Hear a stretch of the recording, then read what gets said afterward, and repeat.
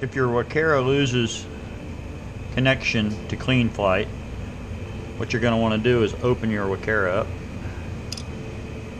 expose the back side here, and you'll see bootloader pin right there. All I did was take my tool here, short the bootloader out,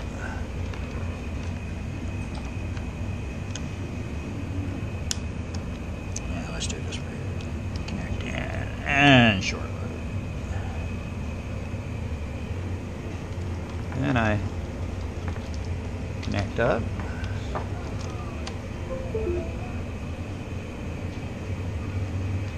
And I go to firmware flasher.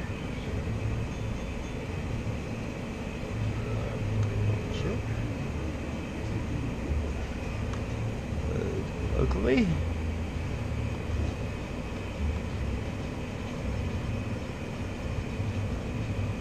Sometimes this will take two or three tries to work out for you.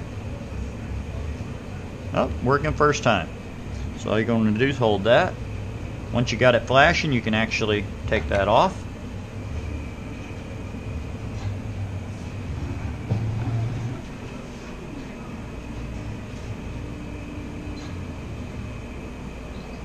Flash complete. And you're just going to want to disconnect it.